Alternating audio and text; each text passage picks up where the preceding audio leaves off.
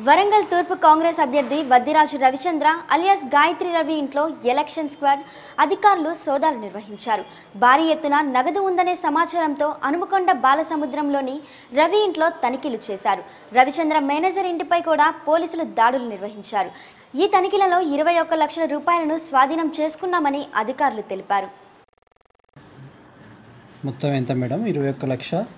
Twenty one lakhs forty six thousand eight hundred and ninety ఎవరి దగ్గర మీరు తీసుకున్నారు మేడం పేరు? Six and half Santosh Kumar.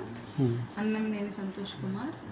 మిగతా fourteen lakhs ninety six thousand eight hundred and ninety Mohan Rao garu. Mohan Rao election funday అని చెప్తున్నారు కదా? Election ఖర్చు. ఖర్చు. గురించి. Thank you madam okay.